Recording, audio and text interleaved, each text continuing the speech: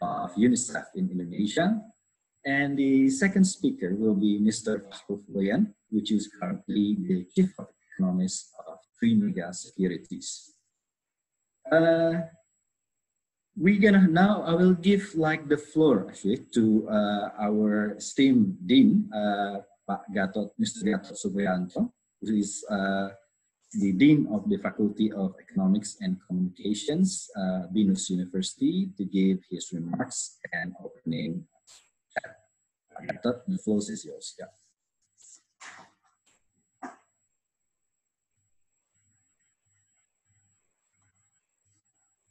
Thank you, Pak Isan, uh, for the opening. Assalamualaikum warahmatullahi wabarakatuh. Waalaikumsalam. Uh, good morning, um, our respected speakers, Pak Arie Rukmantara and also Pak Fakhrul Fulvian, our esteemed lecturers, colleagues, and beloved students. A very warm, a very warm welcome to all of you to the seminar of smart investment during pandemic of COVID-19 first and foremost, definitely we should thank to the God that we are still able to join this conference in a very healthy state.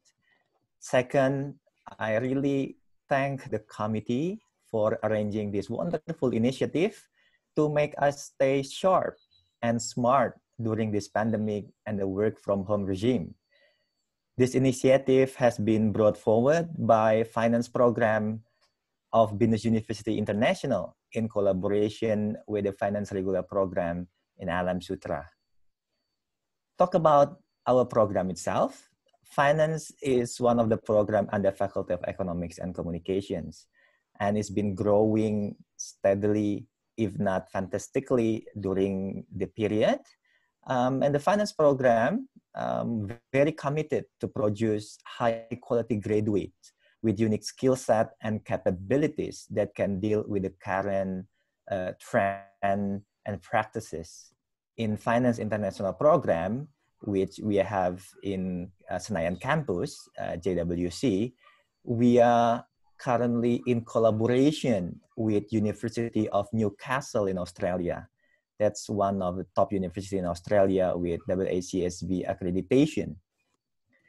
So the graduates from the Finance International program eventually will receive dual awards from Binus University and from University of Newcastle with all the pro program conducted in Indonesia fully. With that in mind, um, this specific seminar is also our constant ideas to make our students, our stakeholders, uh, keep updated with recent issues and also trends in the finance world. And we expect you that not only join this seminar, uh, there's some upcoming seminar that we are going to have and you can join us uh, with the same platform, hopefully. Finally, I hope Bapak Ibu sekalian can learn one thing or two from this wonderful event and we'll have the same belief with me that this pandemic too shall pass. Remember, badai pasti berlalu. Thank you very much and enjoy the seminar. Over to you, Pak Iksan. Okay, thank you, Pak Gatot. Thank you, Pak. Very much. Uh, thank you, Pak. Okay. Uh, um, just as a for, for, for I mean, like uh, before we start, I'm just gonna like uh, make a notice that the seminar will be also conducted in bilingual. So it's free uh, if you are more comfortable, for example, to ask your questions in Bahasa Indonesia as well as in English ya. Jadi uh, silakan kepada para peserta kalau nanti dalam pertanyaan juga uh, ingin menyampaikannya dalam bahasa Indonesia atau bahasa Inggris. Uh, tapi please hold your questions until the end of the uh, presentations ya. Jadi uh, we're going to give like the speaker first to talk And then uh, uh, for participants who would like to ask questions, please hold the questions until the end of each presentations. And you're going to use the chat feature yeah, in the Q&A sessions. And you can uh, type your questions in the chat box and select the questions will be read aloud for answers by the speaker. Uh, without further ado, I'm going to give like the uh, floor now to uh, Mr. Aryo Rukmantara to uh, present his thought and on this topic. And Pak Arie, yeah, The floor is all yours.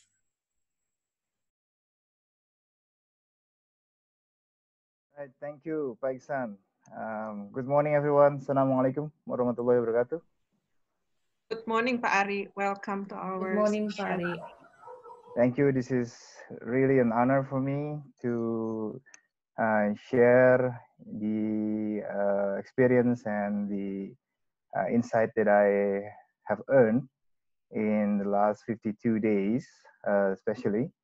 And this is my 52nd day uh, joining the task force and uh, this is going uh, this is actually my fourth pandemics that i uh, experienced Right, so i will share with you uh, the different kinds of pandemics that i have been through and I hope to get uh, more time for discussions and to answer your questions um, i hope you can see the um, I don't I want I don't want to say this is a presentation. This is just talking point to make sure that I will not I will I will focus on what needs to be delivered and not to waste my time on uh, speaking something beyond my authority.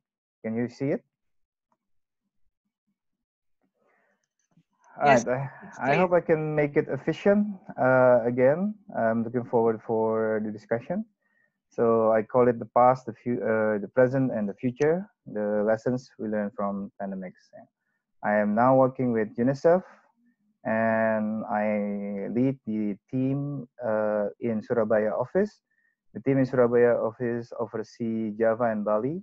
I work with seven governors and over 50 uh, bupatis and mayors. And basically, Java Bali hosts um, almost half of Indonesian children.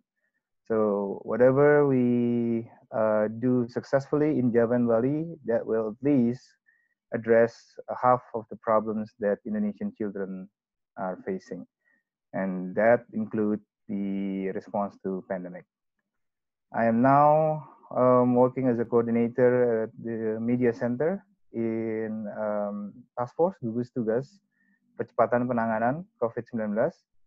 My main product, as you will see, is the 3:30 p.m. press conference by Dr. Achmad Yurianto. So that is the main deliverable because that is the uh, most waited moment for some Indonesians uh, most Indonesians, I guess. Okay, I will start by um, informing or reminding everyone that this is not the first pandemic that um, not only people in the world uh, have seen, but Indonesians uh, have seen. Uh, the most similar similar pandemic it was in 1918. I am fortunate enough to write a book you can uh, download it for free. I include the link uh, uh, be in the bottom of the page of the slide. It was written in 2009 uh, based on the research of seven historians that we did in 2007 to 2009. Basically, it was driven by the fact that bird flu at that time um, first identified in 2004 in poultry, and then uh, took uh, human fatality for the first time in Indonesia in 2005, and then uh, became a really serious matter for Indonesia at the time. And the world was cautious by uh, projecting that Indonesia may be the next epicenter for the next pandemic at that time. Um, we worked very hard to control bird flu, avian influenza H5N1 from 2005 to 2009, just to see that just to see that the actual epicenter was turned out to be in Mexico. So 2009, the pandemic, influenza pandemic in the world was started in Mexico. and it was started not by H5N1, but it was started by H1N1. So um, during the preparation, uh, because we were deemed to be to be the most likely epicenter of the next pandemic uh, 10 years ago, we started um, researching, uh, looking for references. Is this the first time? Was this is this going to be the first time uh, Indonesians um, will face pandemic? And turned out it's not the first time. Um, it happened in 102 uh, years ago in 1918 in Netherlands, India. It was not even Indonesia at that time. It was started in East Java. The virus came uh, first uh, infecting people in East Java and then spread across Netherlands, India. It came from, suspectedly came from Hong Kong with a ship coming with a lot of uh, trade stuff and commodities that were traded in Surabaya and then to be traded in Solo and Jakarta or Batavia. Um, so I divided to this slide into three um, major um, words or um, jargons that I always remember. Uh, that according to this study and various studies, um, and also the experience that we had with pandemic 2009, and I will have to remind everyone that we have another pandemic in 2012 that was Middle East respiratory respiratory syndrome coronavirus MERS-CoV 2012 I was also involved in mitigating that pandemic uh, impact. And then uh, we had something very serious in 2014, but um, mostly in Africa, that was called the pandemic of Ebola in Africa, 2014. And this is the first time we see again a major uh, pandemic, major epidemic, uh, which is called a pandemic here in Indonesia. So um, what uh, what is the relation with these three words or these three jargons or these three philosophies that I always uh, like to uh, embrace? Uh, all the pandemics rely on how we uh, quickly uh, maximize the opportunities. That's like that's what I call carpe diem. the um, the inspiration to seize the day if you have opportunity to stop it stop it right now. If you have to uh, if you have the opportunity to regulate um, health protocols apply health protocols apply it right now. We may be wrong but it has to be fast quick and efficient. And second this is i uh, I, I type it wrongly uh, wrongly. So I should call it Zeitgeist, right? So every pandemic will not be the same. Uh, although I have experienced three previous pandemics, it cannot, I don't have the formula to apply uh, the success of previous pandemics response to respond to this pandemic. So every uh, generation has its own history and every um, time has its own uh, zeitgeist, right? Um, jiwa zaman, yeah. Uh, the inspiration of the time, uh, the color of the time, the dynamics of that period. So what we have to do right now is something that we have right now. Uh, we cannot compare it to 1918, uh, not even uh, allowed to compare it to 2014 in Africa. So that's uh, what we call Zeitgeist. Uh, 10 years or 20 years from now, uh, young historians will describe this in their thesis or in their books, describing what we do right now with uh, our own dynamics and our own resources. And um, the last one the um, mythos, uh, mythos Sisyphus, the myth of Sisyphus, who rolled a big rock uh, to the top of the mountain just to roll it down again to the bottom of the mountain and then pushed it back again to the top of the mountain. Uh, that was basically one of the uh, most discussed um, philosophy teaching, um, especially in the lit uh, literature school, in the School of Culture or School of Humanities. Um, what is the essence of doing something over and over and over again? And this is also the accusation to us, the historians. Uh, I was trained as a historian and then trained as a uh, public policy and public finance uh, uh analyst. Um, I was, we were accused of what, uh, of doing something that was not uh, useful at the time, in, back in 2019, 2009 by publishing the book uh, Yang Terlupakan, Pandemi Influenza 1919 uh, di Hindia Belanda.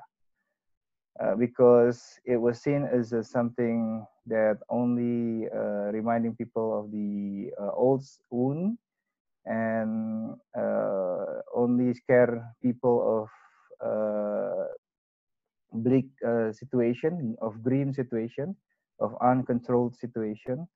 And at that time, when we had uh, a booming economic uh, growth, nobody will see this book as a useful book to support economic growth.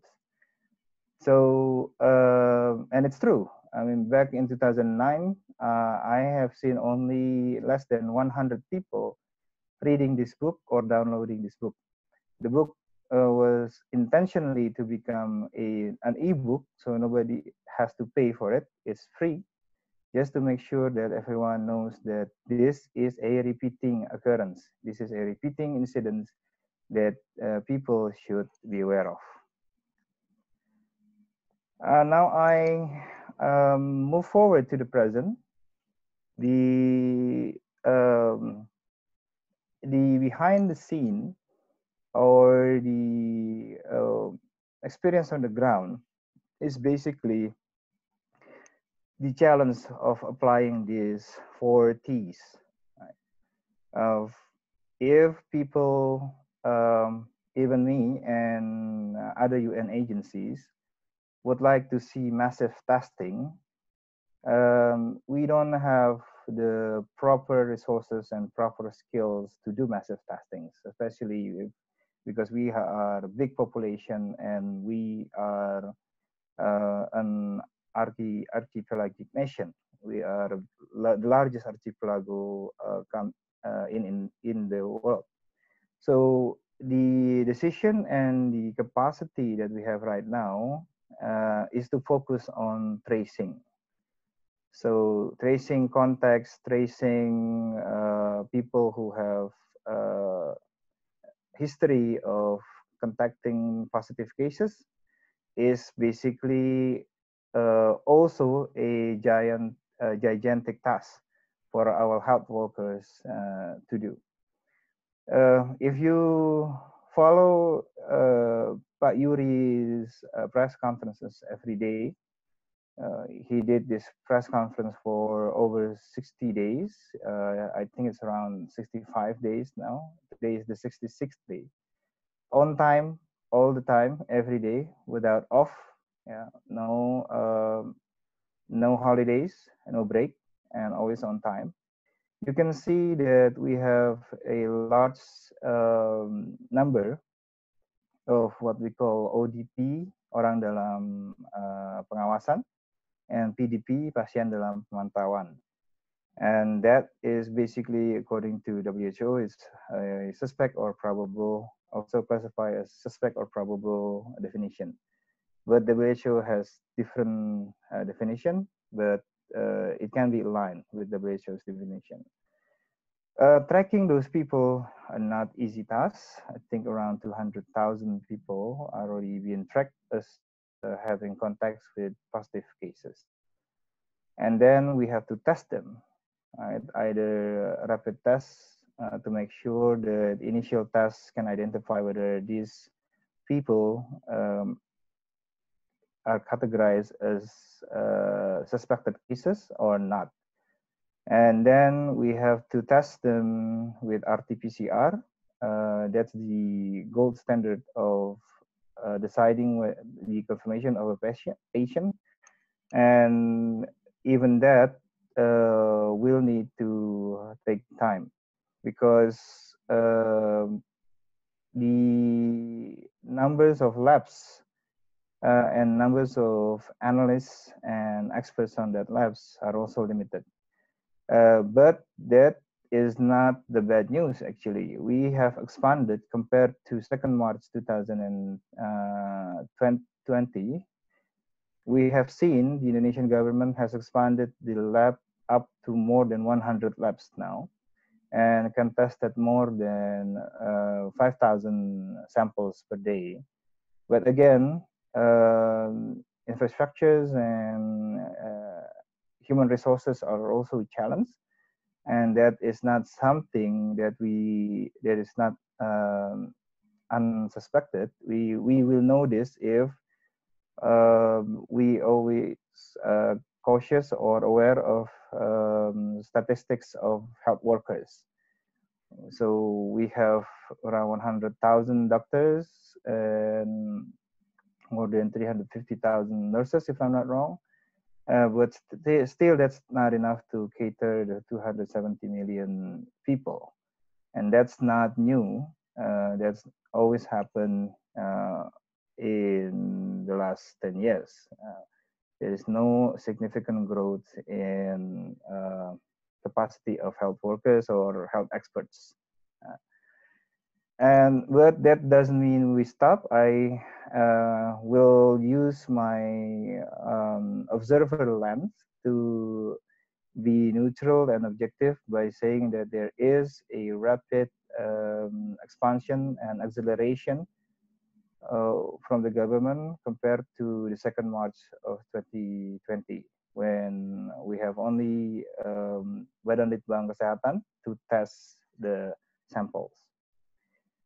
Um, the objective of tracking and testing is basically to immediately treat people. So the good news is this uh, aggressive tracking and uh, increasing capability of testing have managed to immediately identify uh, people and then put them in uh, health facilities. I will give you two good news. Uh, first is uh, there are number, uh, the, the number of people who are recovered or healed from the COVID-19 is increasing and it's, it's even more than the number of fatalities. Second, um, according to the data, we have limited uh, capacity in hospitals, around 10,000 beds in 1,000 hospitals across Indonesia. But our numbers have, uh, our confirmation numbers have reached around 12,000. That means there is discrepancy between the numbers of hospital beds and the number of positive cases. That basically, I can tell you, the answer is people are quarantining them, themselves. There is a massive popular uh, isolasi mandiri, right? The uh, self-isolation initiatives have been taking place in Jakarta alone. If I'm not wrong, last week more than 1,000 people uh, have applied uh, independent isolation uh, many of my closest friends who return from abroad also apply uh, independent isolation. Uh, that means people recover and they isolate themselves in either their homes or facilities that have been offered by either private sectors or community. This is something that has not been uh, popular dis popularly discussed, but you will not be surprised that Indonesians are great in gotong royong and helping each other. Uh, Isolasi Mandiri, the self or independent uh, and uh, isolation facilities are also supported by communities and and what is amazing is a lot of people actually help each other uh, to make sure that the people who isolate themselves do not have to think uh, about their basic necessities such as meals and other uh, necessities uh, for uh, for the for their daily life and the fourth is the most uh, challenging one is to trim movement. Basically to apply physical distancing uh, to allow contacts um, uh, to happen. So it will limit the uh, spread of the virus. Uh, so it will uh, decrease the infection rate and um, in the time it will uh, allow us to control the movement of the virus this is not a, an easy task you know as you may know there is a psbb uh, facility and also uh, in east java there is pembatasan kegiatan masyarakat pkm facility in maluku uh, there is pdrb ya, pembatasan regional ya, besar uh, PS uh, pembatasan sosial regional besar uh, between islands who did that restrict restrict the movement between islands in Maluku. The the only formal ones uh, the, the government is only introducing PSBB. So the PKM is by the provincial and the local government, the municipal government of Semarang, if I'm not wrong, Salatiga, and other uh, districts and municipalities. And the PSRB, uh, the Pembatasan Sosial Regional Besar, uh, is applied by really the communities in the islands of uh, Maluku. So that is uh, the present. We have um, we have to expand our uh, capacity in tracking. That means also allowing us to apply uh, IT, uh, ICT, um, and applications and innovative um, technologies, uh, breakthroughs to track people, including the popular applications of many uh, telemedicines uh, have introduced have introduced. And we have to test people that may be the new normal uh, that we have to test ourselves. Uh, either we are uh, positive of covid-19 or negative of covid-19 to allow us to go back to uh, new regulated economic activities and this is again not a new thing you know we have been calling the world uh, health organization have been calling everyone to test themselves of hiv aids TB, uh, even diabetes, to make sure that health regulators can uh, prepare or expand their, uh, their capacity to treat us if we are confirmed those infectious diseases. Um, and then we have to be able to treat ourselves and also expand the government facilities to be able to treat us if we don't have resources to treat ourselves. And of course we need to make sure we know the right and the relevant context to trim our movement either psbb plus psbb versi uh, 2.0 or 3.0 or 4.0 we have to come up with the um, innovation and that will inspire regulation on how to limit the context and human to human uh, transmission Okay, future. I believe the next speaker will tell you more about our future. It's mostly online, digital, um, will dominate the um, economy in the future. And again, this, this disruption is not new. We have been talking about this at least in the last two decades, in the past two decades. What I would like to see, basically, is everyone to invest more in long-term future programs such as uh, making sure that hand washing is popular, um, you know, you may have seen that before pandemic, hand washing is not that popular. Although people, some Indonesians practice it, many Indonesians actually practice it, but there are still few groups that have not been practicing uh, even these simple uh, prevention measures. And of course, investment in many health promotion uh, activities, not only hand washing, uh, including your personal hygiene, making sure all your gadgets are clean, uh, making sure that every time you travel from outside and you um, enter your uh, um, house, uh, you clean yourself first and then make contacts with your family members.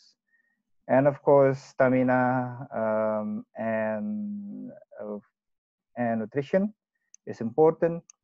Uh, invest more in what you eat. Invest more, invest more in how to increase your stamina, including exercising, and invest more in making sure that you have a uh, long-term benefits uh, of your uh, health investment, including your insurance uh, scheme. Uh, that is basically what what I would like to um, say in my session.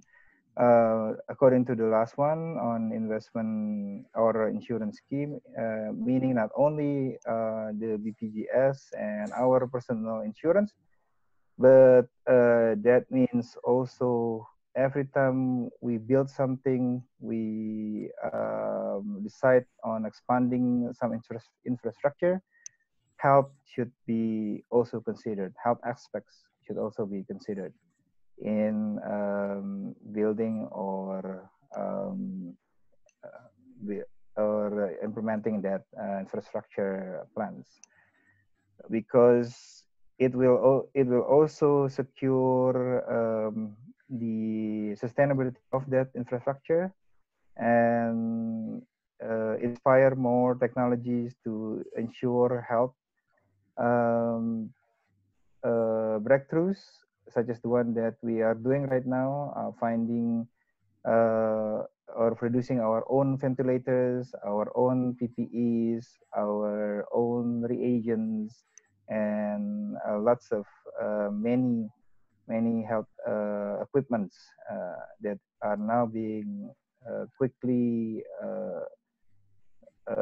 produced to support our health response to this pandemic.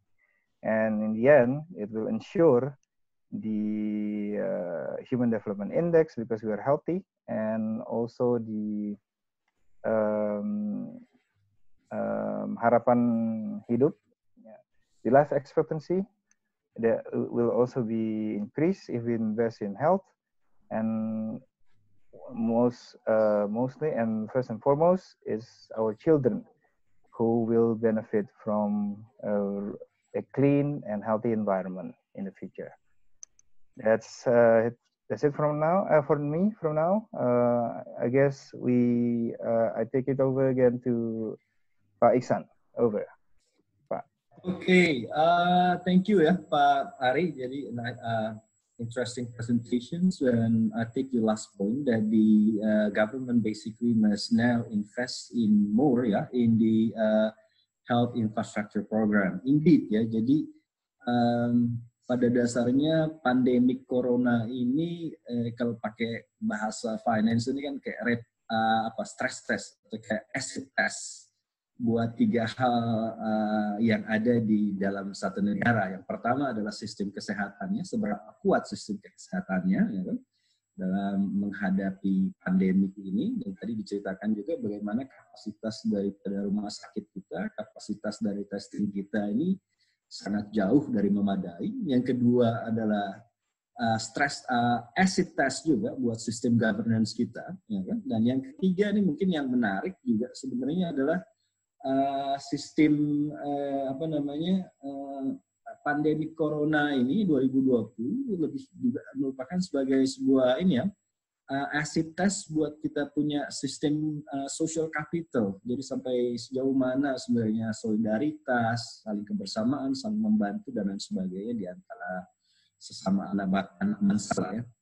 Nah, uh, tapi balik lagi ke topik. Jadi sekarang kita akan buka pertanyaan ya. Jadi silakan uh, untuk uh, para peserta, anyone who have questions, uh, comments, uh, can ask ya. Uh, Jadi untuk ini tuh dia umumnya tidak terkait sama nasabah gitu ya Pak? Kecuali kecuali yang dicampur Okay, jadi uh, so, sorry about the uh, ini. So, but anyone who have questions basically can ask questions in the uh, uh, chat box ya. Jadi menarik tadi disampaikan juga misalnya uh, nanti saya akan bacakan kepada Pak Ari untuk uh, setiap pertanyaan. Tapi tadi menarik disampaikan tentang bagaimana sebenarnya krisis dari pandemik ini uh, telah berubah menjadi bukan hanya krisis di bidang kesehatan, tapi juga krisis multidimensi ya, yang melibatkan bukan hanya kesehatan, tapi juga ekonomi. Dan sebenarnya pada hari Senin kemarin, jadi minggu pertama biasanya, uh, hari Senin pertama, sorry, dari hari Senin pertama dari setiap bulan, terutama bulan Mei kemarin, uh, BPS juga sudah mengeluarkan yang namanya rilis ya, untuk uh, ekonomi Indonesia kuartal 1 2020. Dan uh, dari pengumuman yang ada itu memang angkanya jauh dari yang diharapkan. Jadi kalau kemarin itu uh, uh, Ibu Sri Mulyani Menteri Keuangan dan uh, Gubernur BI masih mengatakan bahwa kisaran pertumbuhan kita di kuartal 1 2020 itu uh, kisarannya antara 4 sampai empat setengah lah, 4 sampai 48. Tapi uh, yang terjadi kemudian dari list BPS, angka yang ada itu uh, hanya separuhnya, lah, kurang lebih separuhnya, 2,97 persen. Bahkan itu secara kuartal-kuartal, bahkan secara uh, year to year sebenarnya sudah negatif. Jadi uh, ini dampak ekonominya cukup serius dan memang uh, keseriusan ini bisa dilihat juga dari beberapa prediksi ya pengamat yang uh, mengatakan kayak IMF sudah mengeluarkan data resmi, begitu juga Kementerian Keuangan, uh, bahwa apa namanya tingkat pertumbuhan ekonomi Indonesia itu paling uh, berkisar antara 0 sampai dengan 0,5 persen pada tahun 2020. Jadi uh, ini betul-betul gloomy ya sebenarnya secara ekonomi dan ditambah lagi berbeda dengan tahun 1998. Jadi krisis 98 97 ini mungkin mayoritas peserta ada yang belum lahir, banyak yang belum lahir pada saat itu. Tapi uh, pada krisis 97 98 itu uh, apa namanya uh, sektor informal atau sektor UMKM masyarakat kecil relatif tidak terimpak, jadi tidak terdampak. Ini sebaliknya yang kita lihat sekarang, ya kan, banyak sekali uh, dampak yang dan ini bukan bukan bukan hanya terlihat, tapi sudah data juga sudah menunjukkan nih data BPS kemarin yang dirilis itu hari Senin itu menunjukkan bahwa sektor yang paling terdampak dari uh, pandemi ini adalah sektor jasa lainnya, quote unquote jasa lainnya. Sektor jasa lainnya itu biasa dalam sektor di BPS ini adalah sektor yang menampung buat sektor-sektor informal.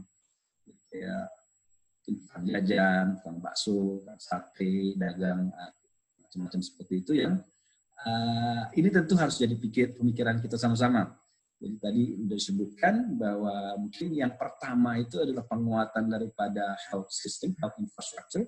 Tapi yang kedua ini yang menurut saya penting juga ke depan uh, adalah bagaimana penguatan ekonomi masyarakat, terutama yang terdampak secara langsung. Jadi publik ini bagaimana pemerintah sudah mengeluarkan banyak sekali ya apa namanya uh, uh, 450 triliun sekitar untuk uh, apa namanya untuk stimulus daripada uh, pandemi ini, tapi tentu uh, perlu dilihat juga sektornya dan siapa dan dalam bentuk apa gitu.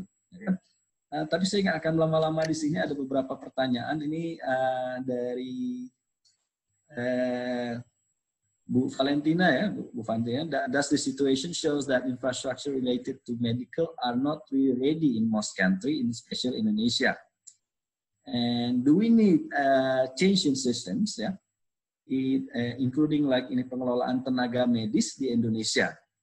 This area will be a sector uh, which is good for investment in investment. What do you think, Pak? I mean, like saya nggak but that is, uh, is, is satu Pak. I mean, like, jadi gimana ini? Apakah sektor kesehatan publik jadi satu hal yang menarik ya, buat investasi? Terima kasih.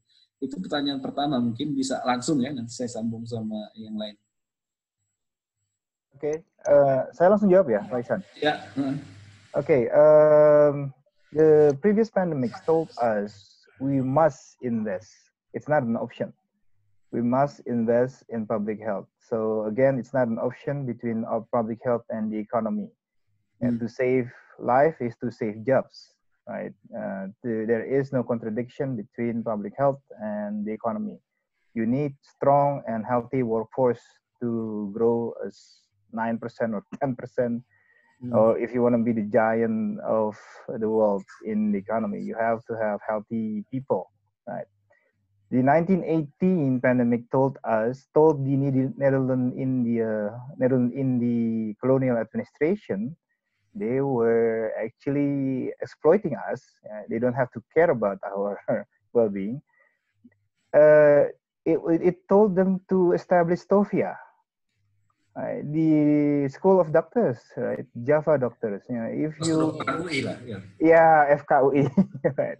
yeah. So um, it it told them it tells uh, it tells them to uh, get more doctors to identify diseases to find way to prevent the outbreaks because even though we colonize this uh, this land we need to exploit this land right? We don't need you know dead people in this land right? If i think as a governor general of Netherlands india at that time yeah so even colonial uh, rulers need to have a healthy people, yeah, in their um, in their um, colonial areas, yeah, in in their colonies, right? So that also tell us uh, right now to invest more in in um, uh, medical experts. I think we have enough doctors, if I'm not wrong. Um, but we need more experts, basically uh, immunologists, microbiologists, um, those who know how to find vaccines, those who know um, more public health experts. Yeah. So we need to invest uh, not only to expand more doctors. Uh, if you envy Cuba, then you can you can choose that way, right? Because uh, they have more doctors yeah for for uh, uh, their people yeah in for their population in Cuba. But we need more experts. I mean in the population of doctors medical doctors we need those who choose to be public health experts epidemiologists um, and also those who, who choose to be uh, the expert in vaccines yeah vaccinologists right? Because it, we should not have all GPs, general practitioners, because uh, this is my second uh, uh, insight. Yeah, because these the other investment that we have to make is we ourselves, the people of Indonesia, needs to be educated more on how to prevent diseases. Right. So first, you have experts, sufficient population of experts uh, in finding ways to uh, stop uh, infectious diseases as soon as possible. you don't let politicians to decide. You let experts, right? Okay. If if you do vaccination, you let experts uh, to decide whether vaccination or immunization is important. Not politicians, uh, not community leaders, right? Uh, experts, immunologists, and vaccinologists who decide whether we need to have measles and rubella vaccination or not, or other vaccination, right? And second, uh, in terms of um, persuading GPs to become experts, right? The population of GPs to become experts, to choose specialists, uh, before they graduate or after they graduate is to make sure that the Indonesian population can also have increased um, knowledge on prevention uh, uh, measures or uh, personal hygiene and what we call perilaku, perilaku hidup bersih dan sehat. Right. So you should be able to prevent um, influenza, seasonal influenza that caused by other types of influenza, not coronavirus. Yeah. You should be able to prevent diabetes if you know your diet, if you know yourself, right? And if you exercise regularly, right? You should be able to prevent um, non-infectious diseases, yeah, such as heart attacks, yeah, and uh, kidney failures. If you know from the beginning, this is uh, how you run, how you live a healthy life.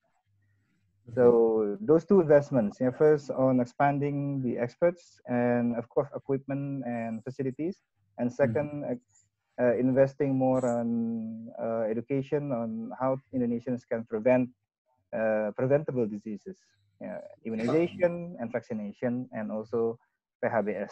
Yeah. The next, yeah, Thank you, Pak Arie. The next question is actually quite interesting it's quite inter, uh, interrelated ya. Jadi ada yang bertanya, um, uh, how long this pandemic will impact the economy and normal, normal life? And uh, Buyanti then again uh, asked, many predict that pandemic will last for two years. Do you agree? I mean, like, uh, and Daniel also asked about the our priority in overcoming uh, pandemic, economic health. This is, I think, this question is very relevant. So why is that? Because uh, recently just gov- uh, the, the government just uh, our government yeah the national government just released this uh, draft yeah the plan to actually to normalize what the so-called after the PSBB the, the economic after the uh, the the, uh, the pandemic corona. And they start planning basically on the 15th of June where educations yeah and some service like the entertainments and that can, can be can be restart yeah but I mean, at the same times, we are not sure whether we are already in the peak of the pandemic or not. Uh, even like the uh, the Singapore, for example, the some institution in Singapore give a predictions that the pandemic just uh, is only a beginning, or even like the uh, there will be like a new peak actually in the September and October, and it will even last for two years. So uh, it, it's gonna be very very risky quite risky if the government opening up too soon, isn't it? And uh, I'm quoted a presentations by Pak Pandu Riono, yeah, a public health expert in uh, University of Indonesia. And the prediction is very, very gloomy, Pak. Yeah? I mean, like he uh, basically his and team uh, uh, predict that somewhere between May and June, so it's now yeah, basically, there will be around uh, in, in, Indonesia uh, will be a peak period and there will be 60,000 new positive cases each day and 10,000 new deaths. Okay, so I'm talking about a daily ini ya uh, uh, jumlah korban ya yang meninggal setiap hari dan jumlah yang terkena positif. Jadi Pak uh, Pak Pandu Yono ini expert ya dalam uh, pandemik dia memang uh, public health dan ini uh, sudah dipublikasikan juga yang uh, merupakan uh, modeling dia dari apa namanya dari dengan Bappenas sebenarnya yang di uh, tapi uh, kemudian ada ada isu juga bahwa pemerintah mau mempercepat pembukaan ini. Nah ini kira-kira uh, Pak Ari ngelihatnya gimana nih? Kalau saya kok ngelihat masih agak beresiko itu Pak kalau mau dipaksakan bulan Juni ini untuk apa ya uh, balik ke ya setengah normal lah nggak bisa dibilang normal full juga karena memang masih ada pembatasan-pembatasan tapi uh, sudah mulai lah. Yeah, I start with the first one. Yeah, I will again. I will claim myself as one of the few pandemic historians around.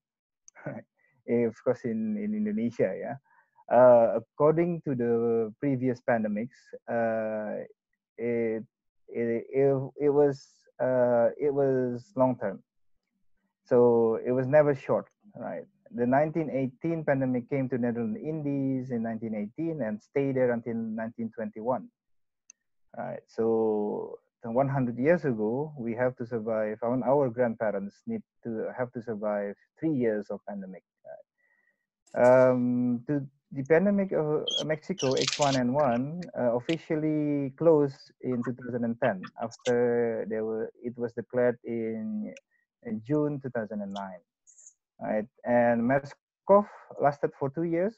About two batches of Haji, Hajj pilgrimage, actually was disrupted. It was not cut off, but it was uh, tightly regulated yeah, by the government of Saudi Arabia because they were the epicenter at that time.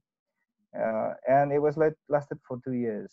And Ebola actually uh, would like to be closed down just uh, in the study of uh, in the beginning of this year. Ebola was started in 2014 in Africa. We wanted to declare, I mean, WHO wanted to declare that it was free of Ebola this January or February 2020, but it found another case again, right, in uh, one of the smallest countries in Africa. So it was not officially closed off. So it was long term. It's a marathon. Uh, so um, um, speed may not be the first option, but cautious, uh, be being cautious and being uh, sensitive is uh, recommended, right? So we may see this not uh, will uh, we may see this last for a few months or until next year probably.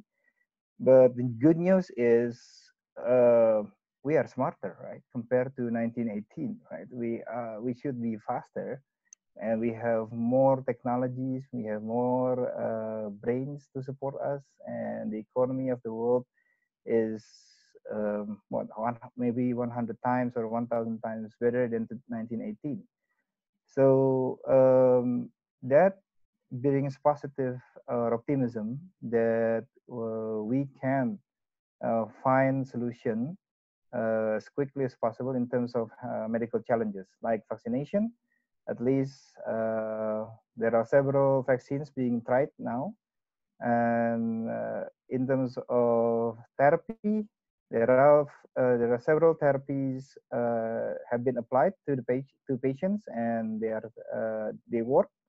Yeah, including increasing proteins yeah, and vitamins and other um, antiviral drugs uh, um, to the patients and they work right? That was something that had not happened in 1918 so it can accelerate our response in terms of medical uh, uh, challenges yeah.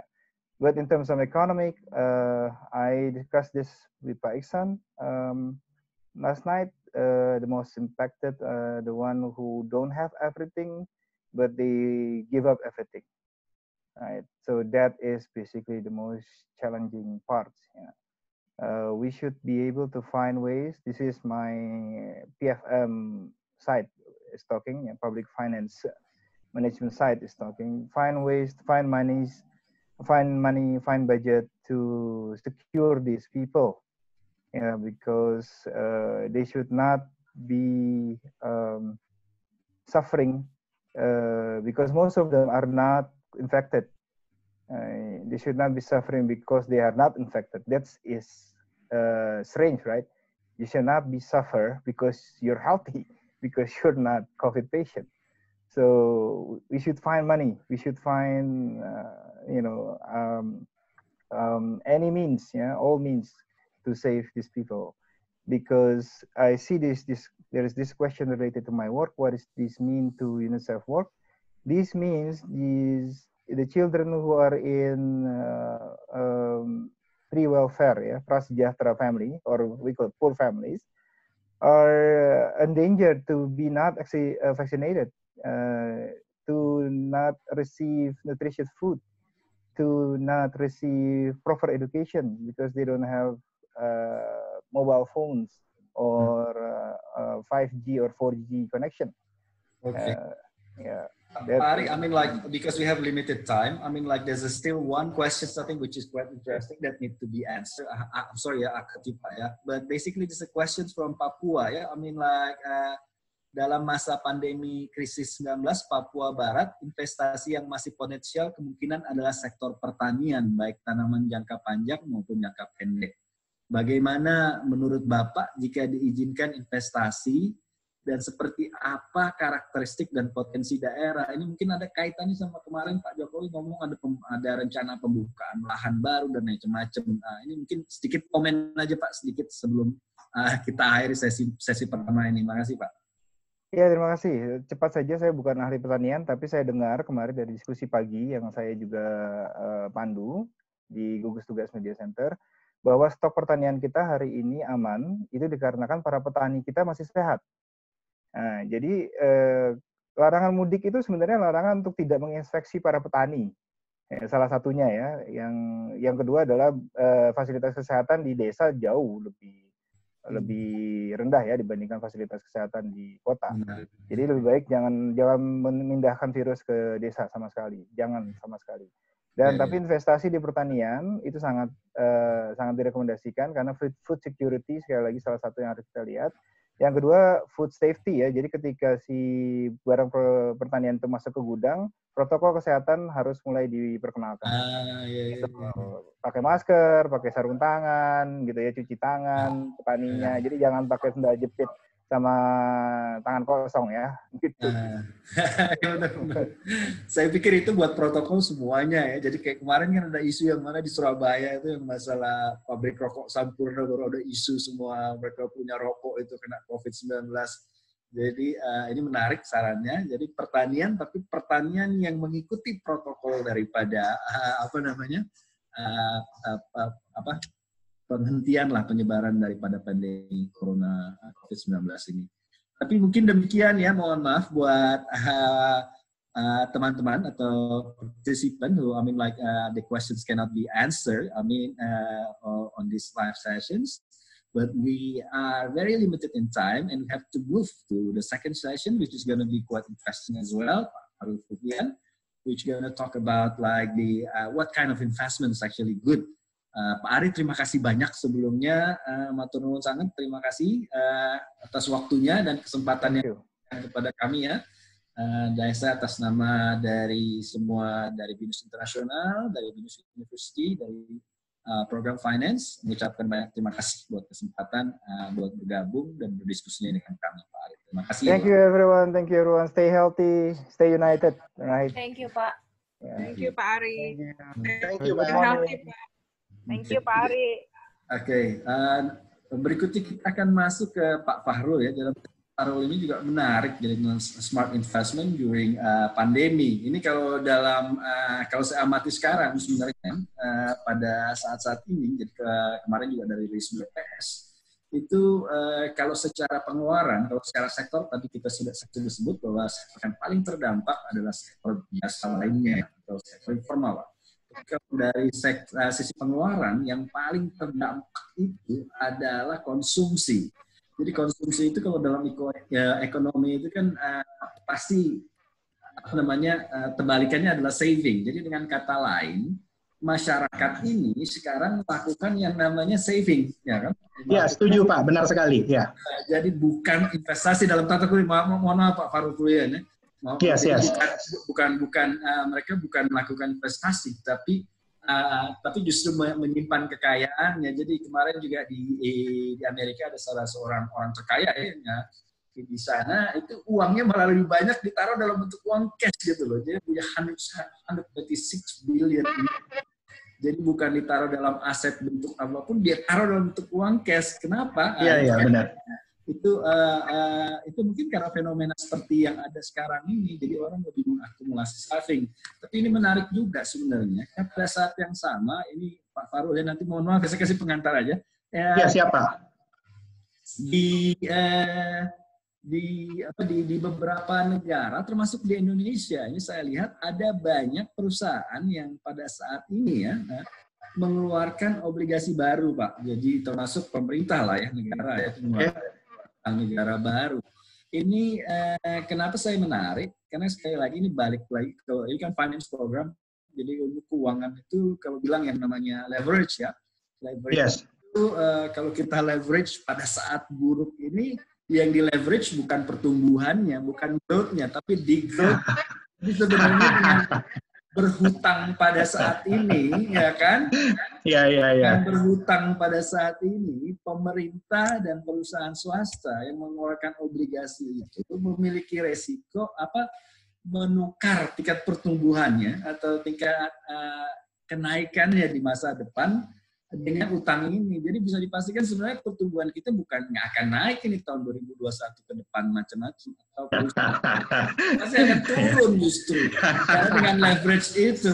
Tapi uh, baiklah saya uh, serahkan waktu dan tempat buat Pak Farul buat berdiskusi tentang masalah ini. Terima kasih. Oke, okay, uh, thank you Pak Iksan. Anyway, uh, before I begin, uh, should we conduct this in English or Indonesia? Uh, uh, bebas Pak, bebas. Jadi uh, okay. uh, we are business international program, but we know, I mean, like most of the, I think the uh, the participants will understand if you talk in Bahasa as well. Yeah. Okay, okay. Uh, so, uh, okay, fine. Okay.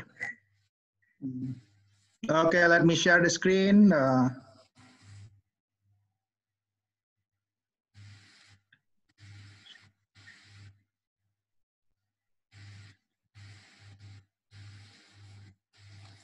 Hello, uh, do you already see the screen?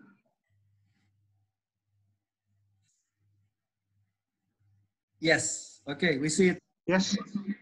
Yeah. You see, you see the um, the title investment during COVID nineteen situation. Yes. yes, Pak. Yes, Pak. Okay. Just, okay. Okay. Need Thank to you. enlarge, maybe, Pak. Huh? To Uh, enlarge, attach okay. Slideshow, the slideshow, please. Is it is it is it already okay? Fine. Fine. Using the slideshow, Pak. The slideshow it is already working. Currently is not in slideshow mode, Pak. Currently is not. Jadi bukan sekarang bukan. Oh, not not not not yet in slideshow mode. Okay, okay. Ya, ya, oke. Nah, oke. Udah. Udah? Udah, ada. Loh, tadi barusan berubah lagi. Tadi udah. Ini udah.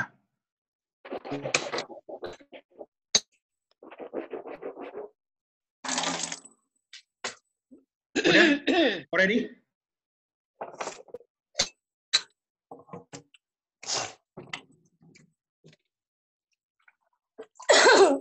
Okay, already in slideshow mode?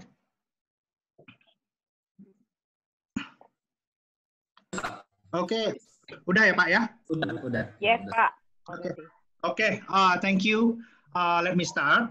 Uh, I am Fakhrul. Uh, currently, uh, I act as uh, chief economist at the Securities.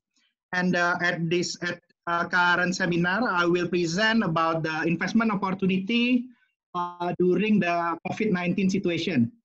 But prior to talking about the what kind of investment env environment we are talking about, will share you first about the latest situation and return in Indonesian uh, asset class. This is basically in the slide two. This is the year-to-date return comparison across the sector. Most of the sector already experience a negative return. If you invest in the property sector by the by the end of last year, you will have minus 41.8% return. And the basic industry minus 22 uh, percent return. And uh, interestingly, uh, in Indonesian asset class, we still have asset class that experience a positive return. Positive return we still see at the USD Indonesia government bond.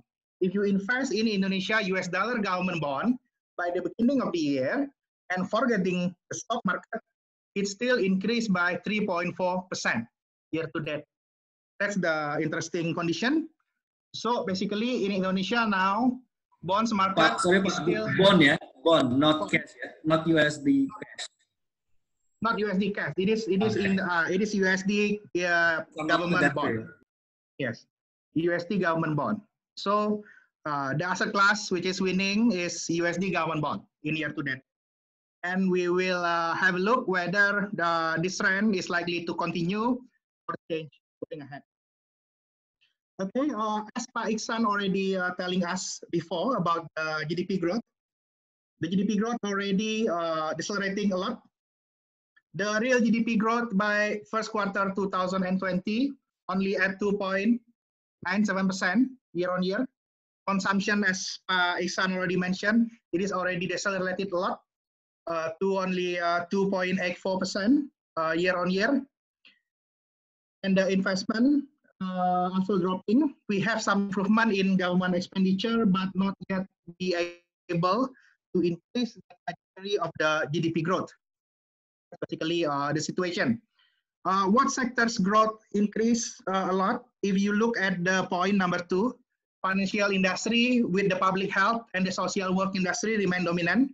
The finance is still growing by 10.7% year on year. It's still accelerating, but very interesting. The financial is still winning. Transportation the, uh, growth declined significantly uh, to only 1.27% year on year. It is dropping from 7.55%. The drop mostly uh, caused by uh, limitation of the mobility or PSBB policy. Mm. And the main uh, important things that we will discuss as an investment team going ahead would be my the point number five. It is about the inflationary pressure that is ongoing in Indonesia. Currently, the GDP deflator in Indonesia is only at 0.67% year on year it is the lowest in the last 40 years if we look at the data. It, it, is, it will be uh, the main discussion. And uh, what kind of business likely to outperform in this environment, we will discuss it later. Okay. Uh, if we are talking about financial market, um, we need to talk about uh, the expectation as a financial mass, mass market uh, discount machine the current market is already pricing in what is likely the economic situation in the next 6 to 12 months ahead. So if we want to understand what kind of asset class and the investment is likely to be good at the current situation, we need to have expectation on what to happen in the next 6 to 12 months. the beginning, I will show you what market is already expecting in the next 6 to 12 months ahead both in Indonesia and also in the global uh, market. This is basically what market already expecting. The blue line, both from for the US at the top left, China at the top right, EU at the bottom left. It is about the expectation of 2020 GDP growth. If you remember in February and March, the expectation of growth is dropping, stock, market is dropping a lot. But interestingly, Pak, when everybody is cutting the expectation of the GDP growth in the 2020, all the analysts in the consensus globally continue to increase their expectation of growth in the 2021. So basically at current situation, at the current stock market, market is already expecting 2001 growth to rebound fast. That's already expected and reflected at the current stock market situation. And how about the American? Yes, Pak. Enggak, Orang ekonomi optimisnya terlalu tinggi. Yeah, yeah, yeah. It is the situation. This is the situation. The what's market currently expecting, Pak? Yeah, good, good, good. And how's the expectation in the emerging market at the bottom right? It is the expectation of growth in the first quarter 2020 and the growth in the, in the uh, second quarter 2020. If we look at the consensus, for Indonesia, currently consensus already expecting growth to be minus 3%. For Indonesia, it is already expected, Pak. But interestingly, IMF expect 2021, next year, Indonesia GDP growth to go to 8%, Mbak. That's a very interesting forecast for the IMF.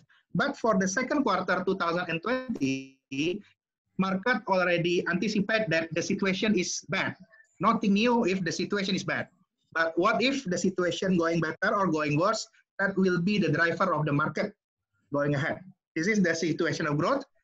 What I would like to say in the GDP growth front, market is pessimist at the short term but very bullish for 2021. This is what we are likely to explore after this. Is it justified or not? Mm -hmm. This is the expectation from interest rate, Pak. Interest, this is interest rate expectation of the Fed. Currently, Fed interest rate is at 0.25%. the yellow line is for 2020 and the blue line is for 2021. Basically, market until next year, there would not be some change in the interest rate. Interest rate globally would stay low. Uh, no, no, no surprise on the possible federal hike. So liquidity uh, expectation is good currently.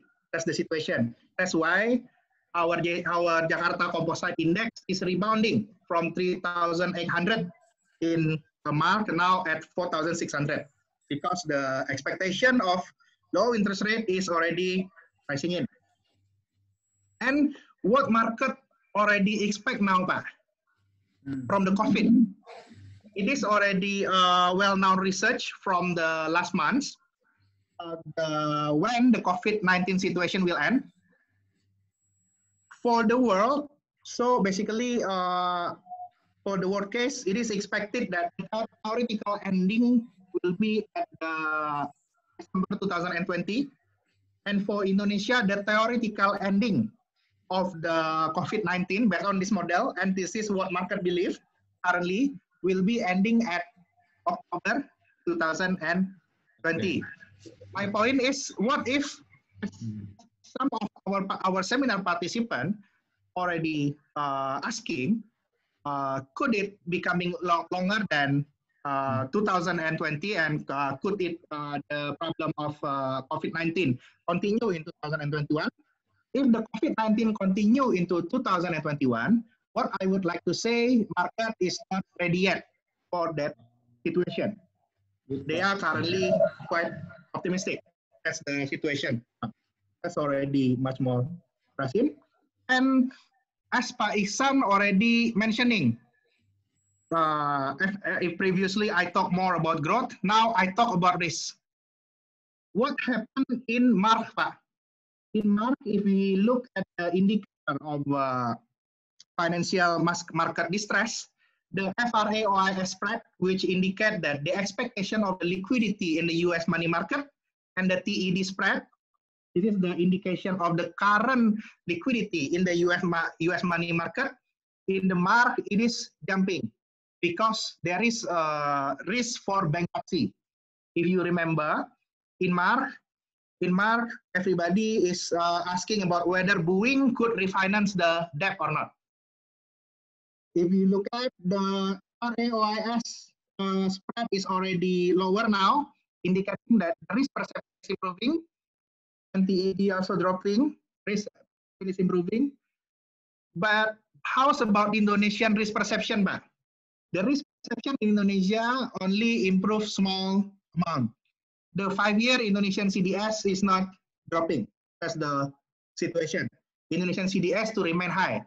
I think Pak Ihsan already mentioning about the bonds. Everybody is still issuing bonds to finance the growth, and everybody is asking whether uh, the growth will be okay or not. What I'm saying that the market is agree with you, Pak. The credit default swap is not to edge lower, it's still high. That's the situation now. So the market is already agree with. Yeah. The credit risk perception is high. That's the situation. So global growth is expected to recover next year, but in Indonesia, credit risk is not that good. That's the situation. So before I go further detail, for the portfolio investor, uh, what is already priced in by the market now? I would like to summarize. Global recession, it is already priced in. So market would uh, is, is not likely to get down if the recession occur. Everybody already know about recession. COVID to close the economy until mid of 2020. That's the expectation because of everybody believe that after June that the economy will be opening again. That's why the stock market is not dropping. And global central bank already conducting uh, further interest rate cut. Interest rate cut is already fairly expected. Pressure on emerging market effects, it is already expected, and the uh, IDR is much more stable now.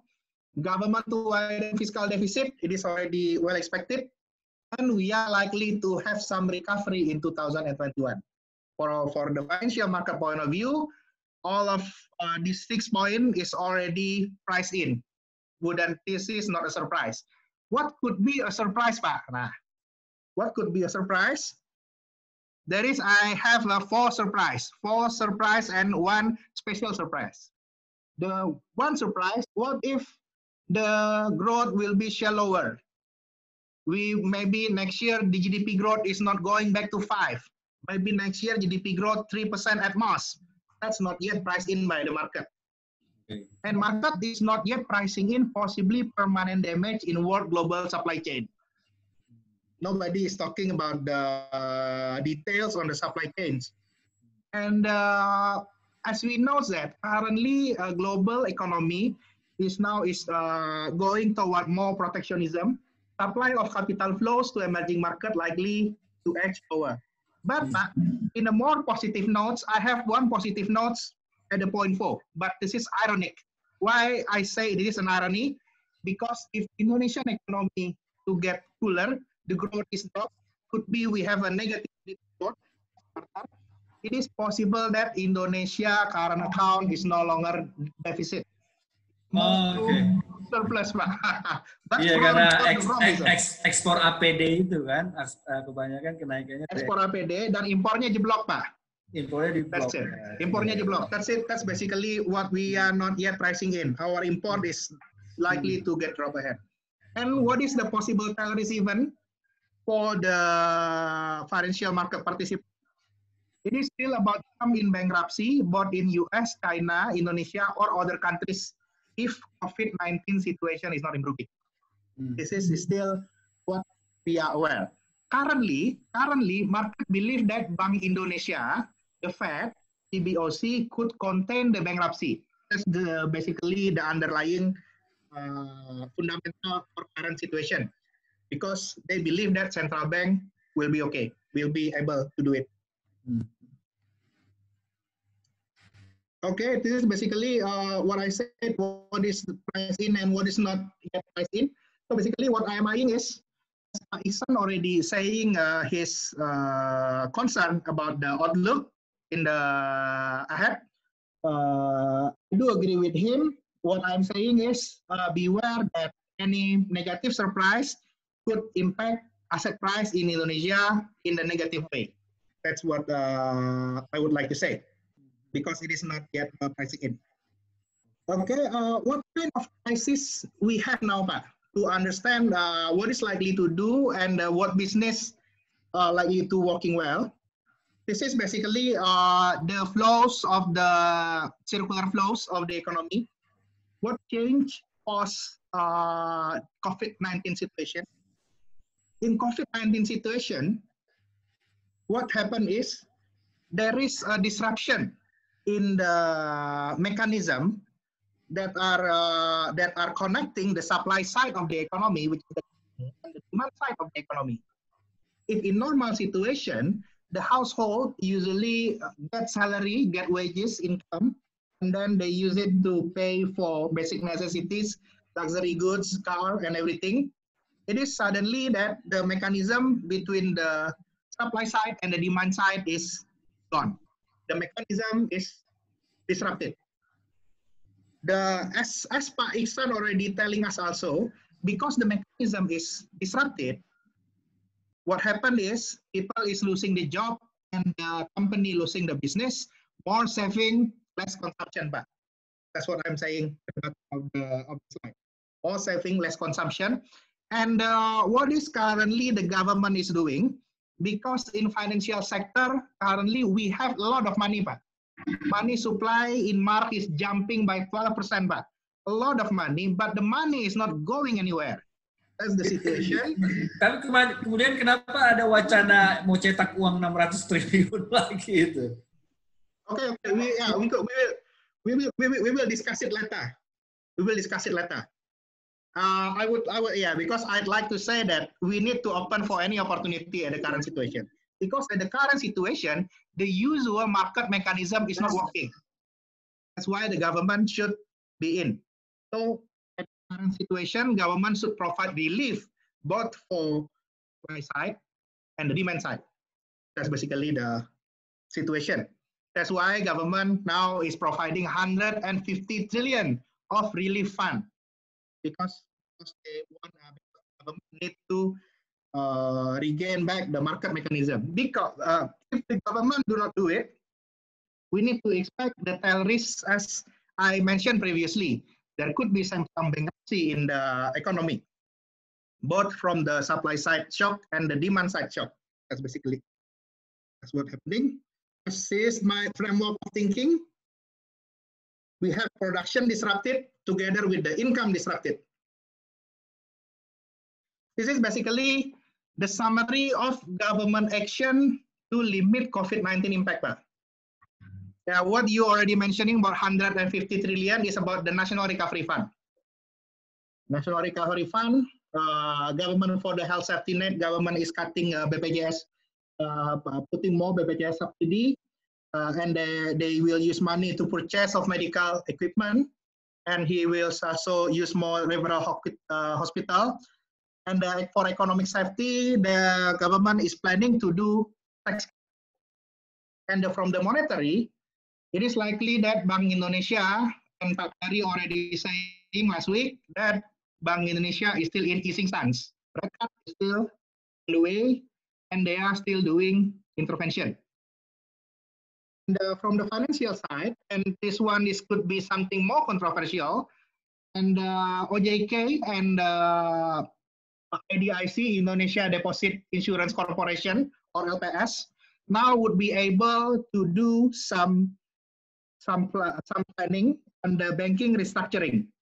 So if you hear that yesterday OJK also uh, telling us that uh, to prevent to uh, to prevent any credit situation in the during this uh, credit uh, COVID-19, they already uh, they already appoint some big banks to support smaller banks.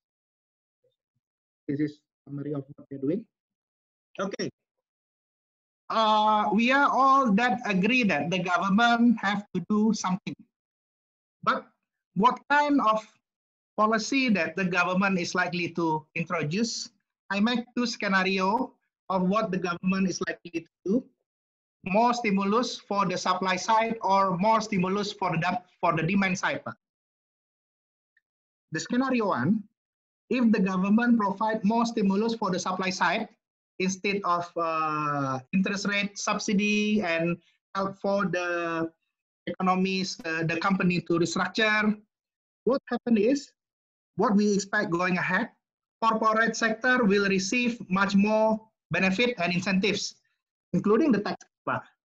What we need to understand that who receive tax cut today is not the personal. The personal is only for the selective industry, for the selective industry who receive a tax cut but the tax from 25% to 22% is more to the corporate sector. And we are we also have omnibus law and tax cut. What is likely to happen if we continue to support the supply side, the corporate? Demand side support is likely to be limited. But CA balance improve because our uh, demand side is not high inflation to remain low but lower for long run interest rate. But by the end, we will have a demand problem to limit because Indonesia uh, trying to go to export market. And but there is a possibility that if we are we if we depend on the global market going ahead, fiscal deficit in Indonesia likely to becoming wider because we need to support our domestic demand. Mm. But what is likely if the in scenario two, scenario two, we government decide to provide more demand stimulus. The demand stimulus, what I am eyeing is as the cash direct transfer is already ongoing. Some household already received 600,000 from the government. From that spending, the corporate uh, income growth is to improve but we are expecting no uh, significant change on the omnibus law. Indonesia will still have CA deficit problem. Interest rate to remain cyclical and up and down, and Indonesian inflation is higher because we have demand back. In the scenario one, we have a policy that support corporate, corporate to sub super supply side. In the scenario two, we have a scenario that supply the that, that support the demand side. In the scenario two, aggregate demand is back. We will have current account deficit problem, but the government do not need to provide any support in terms of uh, fiscal deficit.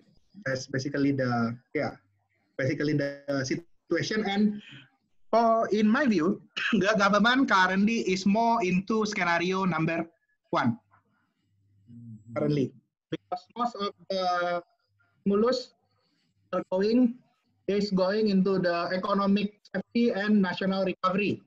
It's more it is yeah, they are mostly talking about how how to maintain the economy from the supply side instead of the demand side. So basically, the result of the situation for the economy, as you already uh, telling us also, the inflation will be very low as a result, but the demand we will have uh, yeah test will be uh, something questionable. yes, Mulus.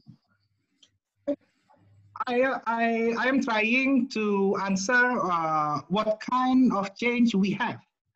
Ya, Both ya, for the sector. mesti dijabarkan kayak sektor-sektor apa aja yang menang, sektor-sektor apa aja. Kali ini bagus nih presentasi. Lanjut Pak. Okay, okay, okay, okay. I will uh, invest what kind of uh, business that is uh, will be winning. For the corporate side, Pak, the behavior it will be one should be higher investment in IT related, more investment in IT, and also uh, everything that could uh, reduce the man human to human contact. Situation. Saham, saham Zoom udah naik 10 kali lipat kira-kira. Yeah, saham loh, this this kind of situation. Eh, And number two, everybody now realize that we cannot depend on China. Cannot.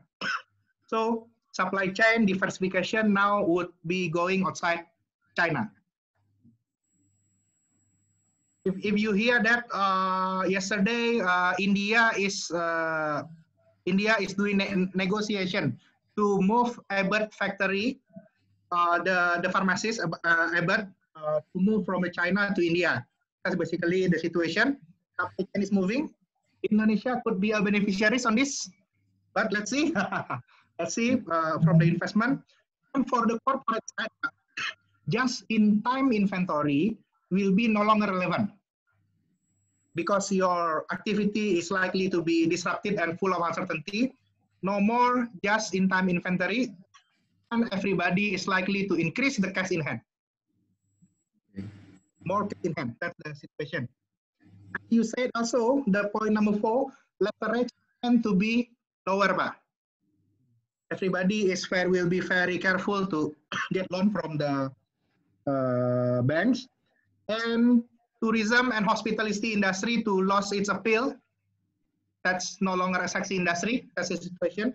Post COVID, I think it will be risky for people to go outside, and I think going for tourism or uh, going to hotel and everything, it will be very limited. And also tourism, hospitality, and also real estate. I would like to say in Jakarta, real estate market is die. That's what I like to say after this. But what we are, what we should be talking is at the number six, going ahead, agriculture business is likely to rise as food security becoming big issue. The situation. What I what am I? And uh, from the job market perspective, uh, I don't uh, put it here, but I would like to say. So what I'm eyeing is we will have a reverse urbanization or de-urbanization now. ah, If everybody previously going to Jakarta, going going to Semarang, going to Surabaya for a good job, especially in the service related sector, this no more service related job. Everybody is likely to go back to the hometown and doing everything online if possible and working not in the service sector. That's the situation. alumni But the main impact siap ini balik ke kampung, balik ke eh, kotanya masing-masing. ya kira-kira kayak gitu Pak. Kalau saya sih lihatnya ya itu kalau trennya Ya, ya, oke. pulang kampung. Lagian gini. Uh, Which is make sense, ya kan? Which is make sense. Kalau kalau bisa nggak ini kalau bisa jadi misalnya uh, tinggalnya rumahnya kampungnya di Semarang atau di mana di Jawa Timur misalnya Pak. Sehari harinya tuh tinggal di Jakarta. Kenapa? Karena kantornya di Jakarta. Kalau sekarang nantinya itu semuanya itu pakai related dan juga apa namanya itu harus tidak harus ke Jakarta, maka ya bisa aja semuanya pakai online, Pak. Semuanya pakai online. Hal bisnis yang bakal terpukul paling dalam dengan kondisi ini adalah real estate. Real estate, kenapa saya bilang real estate? Real estate itu kondisinya dalam berapa tahun ini, terutama di Jakarta, itu mulai oversupply, oversupply, dan merupakan sumber dari inefisiensinya orang-orang. Karena saya misalnya harus tinggal di Jakarta, tapi saya bukan orang Jakarta, saya nyawa di Jakarta. Itu kan kejadiannya. Kalau saya tidak harus ke Jakarta, I could work from home. What is the point that I rent an apartment or a house in Jakarta? That's it. That's basically the situation. So rental yield is likely to get lower. That's the, my point on this. How's the impact for the consumers, Pak? Consumers, the tendency for the consumers, tendency to save price Everybody is in savings mode now. By the way, Pak, Pak Farul, you only have five minutes left ya Pak ya, because we we want to put like emphasize on the question and ask as well. Sorry Pak. Okay, okay, okay. okay. And yeah, I would like to say a demand for basic necessities to increase. And uh, by sectoral, it will be bullish for the telcos company, healthcare, tech company, and will be bearish for real estate, commodities, and tourism statistical situation. Okay, I will make it fast. Yeah, just a lesson, banking always win, but so if you want to market, always buy banks. Okay, this is also the trend of the changing trend of the global economy and also happening to Indonesia. If uh, last decade ago in business, I think people in BINUS talking a lot about this, talking about the blue ocean strategy everybody is talking about blue ocean strategy, going that the market that is not yet red and there is plenty of high value added there. You could charge higher price. That is the old value added driven economy, Pak. And uh, with this COVID-19, it accelerate our economy into race to the bottom. What is the race to the bottom? Economy that is driven by low cost. Low cost, low uh, price, wages is also low, FDI goes to the most efficient nation, and we are into deflation, Pak. And what I suggest the government, what is the biggest risk now is deflation. And uh, okay, before my last slide, I would like to say what is likely to happen in our last deflation, but this is from the doctoral thesis of Professor Sumitro Jayadikusumo. The condition of the workers in Java prior to Great Depression what kind of deflation? If you look at the salary by profession, Mandor wages prior to crisis is at 18 gulden. Post crisis, it dropped to 7.5. When uh, coolie uh, in plantation wages it also dropped. The price of important commodities is also dropped. This is what the government uh, have to prevent. And this is why I what I what I'm today. If the government is willing to increase the debt that's not a problem because we need to prevent this kind of situation.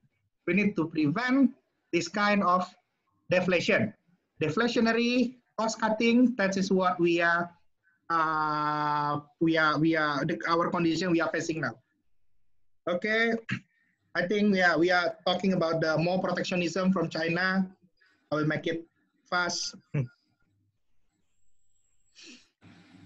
uh, it will be my second last slide.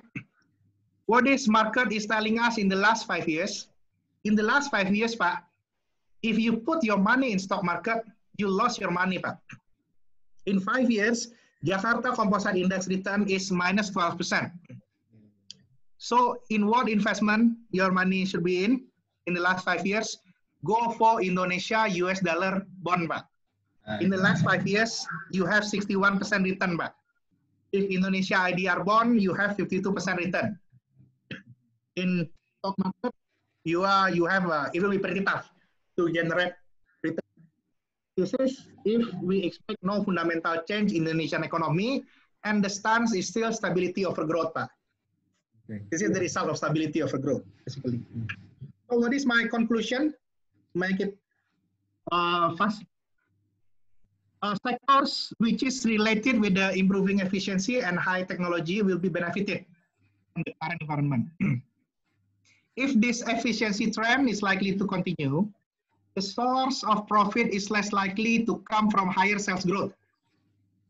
It's not from higher sales, but lower costs will be the main driver. And this is what I see. This is very harmful from the economy. But for the businessman, the business that are good for you is the business that you could cut the low, the, cut the cost at. You could uh, lower the share of labor and everything.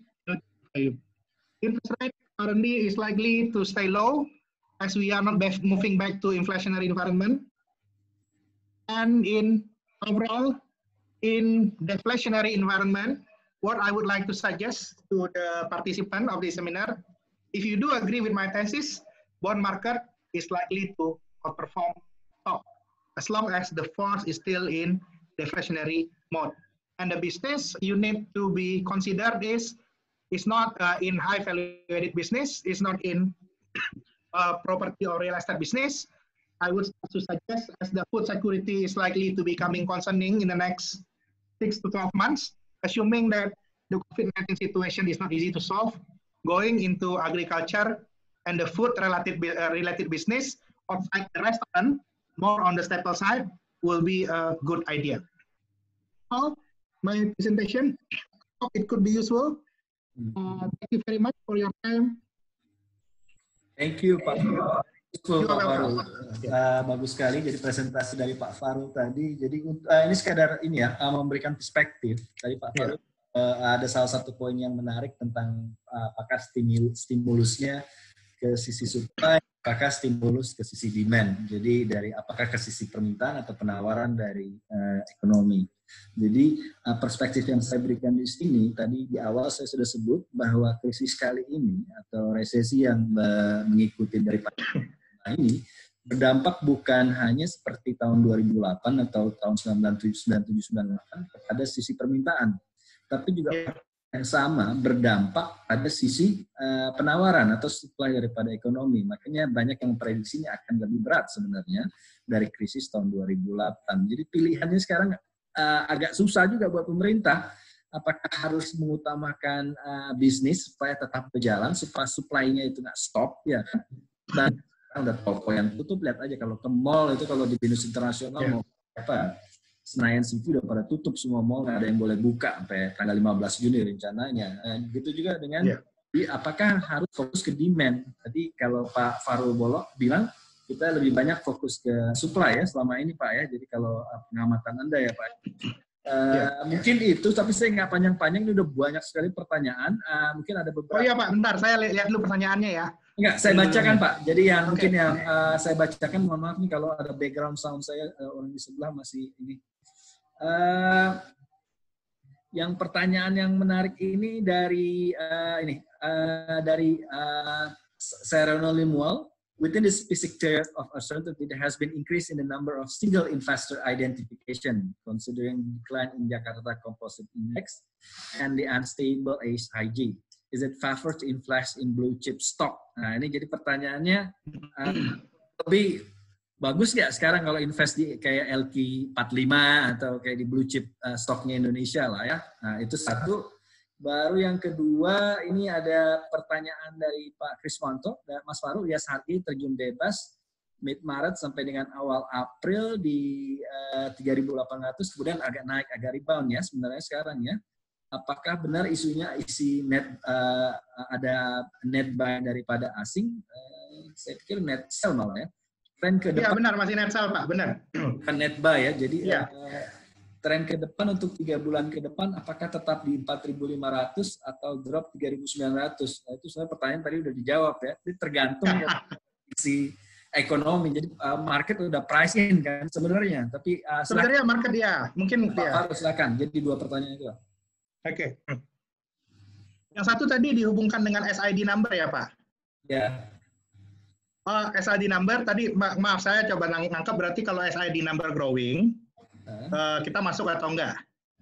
Ya, ya jadinya uh, database increase SID number udah udah meningkat, ya kan? Tapi sekarang ada pada saat yang sama ada penurunan dari uh, jak, uh, uh, apa Jakarta Composite Index itu ISHG lah and stable masih masih oke okay nggak kalau tetap apa namanya invest di uh, blue chip stock gitu. Jadi kalau uh, uh, ini ya kalau mau yang ini poin sekarang saat ini sebenarnya yang mensupport market itu bukan investor asing, tapi investor lokal pak. BUMN. Tapi ini ini ini adalah ada sebuah kecenderungan yang menarik di IHSG pak. Iya ya. Bahwa IHSG itu ketika IHSG itu lagi naik, hmm. SID itu naik pak. Oke. Oke, tapi begitu ada market turun, yang hilang juga banyak cepatnya pak. Yang trauma mungkin kemungkinan gara-gara mungkin nilai investasinya turun tidak siap. Jadinya kalau saya melihatnya dari SID number, hmm. saya melihatnya justru kalau melihat behavior di Indonesia, masuklah ke pasar ketika jumlah SID number itu lagi turun. Ketika yang aktif itu lagi turun. Itu kejadiannya. Itu justru yang kejadiannya itu menarik di Indonesia seperti itu. Karena biasanya di kondisi seperti itu, ekspektasi uh, itu cenderung lagi rendah. Itu yang uh, kejadiannya yang biasanya itu baru ngasih upside. Mungkin terkait dengan LQ45, kalau saya sekarang ini tergantung kepercayaan Bapak.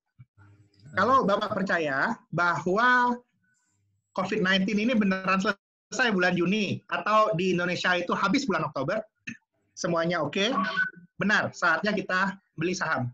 Tapi kalau tidak percaya dengan itu, ragu misalnya, belum selesai ini bulan Oktober, mungkin percaya dengan tesis COVID ini bisa sampai dua tahun. Ini saya bilang waktunya untuk mengurangi porsi justru di saham di LQ 45. Begitu kira-kira yang saya uh, lihatnya. Karena market, ya. Uh, baru ada pertanyaan lagi, jadi harap itu, jadi pertanyaannya jangan uh, jangan invest dulu lah ya. Uh, sasarannya Pak Faru di apa namanya blue chip stock atau LQ45. Yeah. Uh, hold on. Tapi saya juga ada pengalaman Pak, ini pengalaman pribadi sebenarnya. Jadi saya punya apa uh, orang tua ya dulu waktu tahun 9798 ya yeah. invest banyak di saham ya kan tapi kemudian pada saat turun-turun itu dia lepas pak. Jadi ruginya itu banyak lah ya kan. Iya. Dan salah juga pada saat yang sama kan. Karena ketika dia lepas berarti dia harus menerima kerugian. Kan pada saat itu lumayan bouncing juga. Walaupun waktu yeah. lama ya. Itu bouncing 9798 baru bouncing tahun 2003. 2003 ya benar. Baru nunggu baru sahamnya mungkin yeah. balik nilai sebelumnya. Mungkin itu. Uh, baru ada ini yang pertanyaannya uh, Pak dari Ibu Yanti, Pak Fahrul, what factors of your optimistic prediction of bond market? Jadi uh, baga- uh, kenapa kok Bapak bisa optimis terhadap bond market ini? Uh, dan baru yang kedua juga uh, dari uh, Bu uh, Yanti, jika SYD turun, investasinya value investmentnya, artinya bukan untuk spekulasi atau untuk short term trading. Mungkin itu Pak. Oke, uh, terima kasih atas pertanyaannya Ibu Yanti. Yang hmm. saya maksudkan ini adalah uh, investasi yang bagus itu adalah government bond, Bapak Ibu. Yang naik 61 persen dalam lima tahun terakhir itu US dollar Indonesia government bond atau yang biasa kalau Bapak Ibu baca di media itu namanya global bond pemerintah Indonesia. Apa yang lagi terjadi sebenarnya kenapa itu bagus? Kan sebenarnya uh, Indonesia ini kalau kita lihat manajemen fiskalnya, Ibu Sri Mulyani itu sangat konservatif kan, sangat konservatif. Kalau nggak ada kondisi, maaf, maaf, maaf, maaf, Pak. Jadi bukan uh, uh, US denominated other country bond ya. Jadi misalnya kalau kayak uh, apa namanya Jepang ngeluarin ya atau negara lain nggak bagus ya, tapi cuma Indonesia aja. Nah, ini anyway ini uh, dalam pilihan ini ini saya batasin konteksnya Pak. Saya hmm, batasin hmm, konteksnya itu akses yang bisa didapatkan oleh common orang Indonesia? Either, oke. Okay. So Indonesia US dollar bond, Indonesia government bond, stock hmm. market, saham, atau masuk ke deposito. Kalau dibandingkan itu semua, kalau kita lihat dalam berapa tahun terakhir ini, yang paling bagus itu bond market. Bond market itu naik 61 persen, Pak, US dollar. Jadi ya kalau saya sih melihatnya, kalau Ibu masih percaya bahwa pertumbuhan ekonomi kan kita ngobrol sama Pak Isan tadi kan, perubahannya banyak Pak. Semua orang nyimpan cash, semua orang nabung, gimana mau tumbuh? Itu kan pertanyaannya. Kalau memang seperti itu, ya mau nggak mau seluruh investor itu nanti akan pindah ke aset-aset yang resikonya rendah, yaitu obligasi negara. Itu yang saya maksudkan. Untuk apa itu government bond. Jadinya ya kalau untuk kita lihat uh, kalau untuk corporate sih memang ya kalau corporate bond itu resikonya di Indonesia ini lagi lumayan tinggi. Itu yang saya ceritakan tadi tercermin di kredit default swap karena ada memang beberapa corporate bond juga yang lagi uh, menunggu bisa dibayar atau tidak. Kira-kira seperti itu. Kita lebih mengarahkan di kondisi uncertain itu masuk ke government bond. Tapi begitu kita lihat ekonominya sudah naik, baru kita boleh pilih-pilih saham di sektor yang mana, di sektor yang sudah saya bahas tadi, kira-kira seperti itu. Oke. Terima kasih Pak. Jadi menarik ya. Jadi uh, ini ada fenomena yang namanya flight to safety juga di pasar lokal nih. Jadi orang bahas yes. uh, switching mereka punya investasi ke government, artikel yang ini ya, yang yang US dollar. Uh, ini tren ke depannya dan tadi juga dari kesimpulan dari Pak Faru kalau mau investasi di mana uh, di saham yang sektornya tadi lagi uh, lagi uh, maju ya. Uh, ini ada satu lagi mungkin Pak pertanyaan yang menarik ya kan. Kalau untuk uh, company bond uh, sendiri bagaimana Pak? Apakah masih uh, masih direkomendasikan? Jadi company bond ini mungkin bisa kayak saham uh, kan banyak sekali. Tetap BUMN juga saya lihat ada beberapa ya, ada banyak yang mengeluarkan uh, obligasi. Apakah itu masih recommended atau seperti apa Pak? Dan beberapa saham uh, perusahaan blue chip juga mengeluarkan obligasi dalam rupiah dan dolar. Iya, kalau untuk ngeluarin obligasi uh, rupiah, rupiah dan dolar, hmm. kalau saya sebenarnya di kondisi sekarang itu gini lah Pak. Hmm. Kalau beli obligasi dolar kan kita orang Indonesia Pak kita apa, apa beli apa kan pakai rupiah. Hmm. Kita kalau mau beli obligasi yang dolar, mesti hmm. rupiahnya turun banyak pak. Hmm. Ya kan? Kalau ya, emang ya. benar kayak cerita yang saya ceritain tadi itu ekonomi kan turunnya dalam ya pak. Ya. Terus karena kon bisa surplus loh pak, kayak itu cerita kan. Kalau ya. karena kon surplus saya rasa ya kita nggak bisa expect terlalu banyak rupiahnya melemah.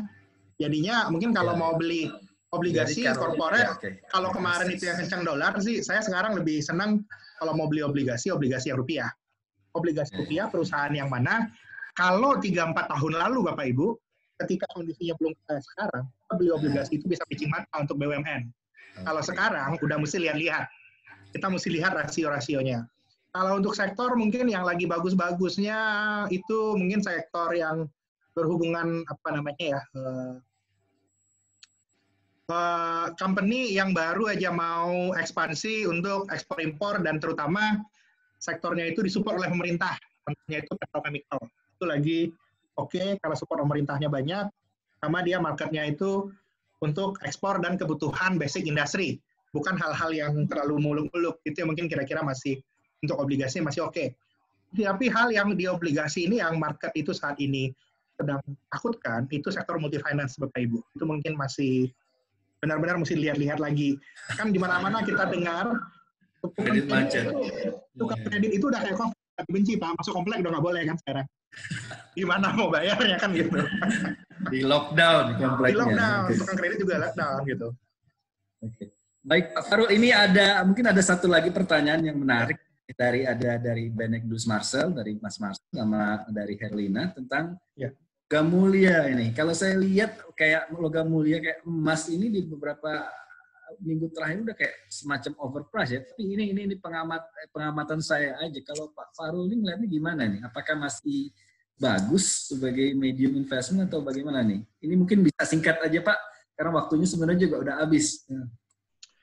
Uh, kalau untuk gold ini ya Pak, sebenarnya itu selalu kalau gold ini itu doomsday investment kalau menurut saya ya Pak ya. Ya. Ketika kita percaya bahwa nilai uang ini benar-benar jatuh, baru kita beli gold. Dan gold itu kan naik kencang itu, ingat waktu Februari Maret ketika benar-benar itu kondisinya jelek banget, itu gold kan naiknya kencang banget. Lebih kencang dari dolar, lebih kencang dari yang lainnya. Ya, ya. Jadinya sih kalau saya sih melihatnya, kalau di kondisi sekarang ini, kalau kita kayak ini Pak, ini kan BI step step in. Ya, dalam ya. kasus dalam kasus banyak apa namanya uh, intervensi dari bank sentral, baik itu di Amerika tahun 2009, Jepang, Eropa, dampak ke ekonominya jangka panjang itu selalu dipertanyakan. Di mana-mana orang mendebatkan ini benar benar atau enggak polisinya. Tapi selalu dampaknya ke financial market itu berhasil naikin market, Pak. Oke. Jadinya kalau memang sudah percaya BI step in dan mereka bakal agresif, saya sih lihat kalau untuk jangka pendek kita ngelihat tiga bulan enam bulan, emas saya rasa sudah selesai. Kita tunggu lagi ada episodenya lagi nanti di lain waktu. Ada overpriced. Saat ini, ini saat ada kaitannya tadi juga kita lagi, kita lagi ada ada ada ada episodenya lagi berarti Pak. Karena itu kecuali nggak gini kecuali Pak Iksan expect bahwa BI gagal. Okay. Ya oke. Okay. Paham Pak. Jadi uh, jadi buat Mas uh, Bennett Marcel sama uh, Mas Her Mbak Herlina tadi ini jelas ya jawabannya. Jadi uh, not not really recommended sebenarnya. Jadi kayak dari logam mulia untuk emas karena dua hal tadi. Jadi bahwa uh, apa namanya uh, ekonomi Indonesia masih relatif terkendali, Bank Indonesia, Kementerian Keuangan, pemerintah masih bisa mengendali yeah. bagus, stimulus macam-macam. Dan yang kedua itu juga faktor tentang uh, ini mungkin sekedar background teori juga bahwa kita punya uh, apa namanya kita punya current account masih dalam justru surplus ya beberapa bulan terakhir ini. Uh, berapa ya berapa bulan terakhir ini trendnya itu mulai surplus pak. Dan saya tuh selalu melihat itu gini pak Indonesia itu ya. nggak boleh tumbuh kencang-kencang pak. Itu realita itu realita di lapangan.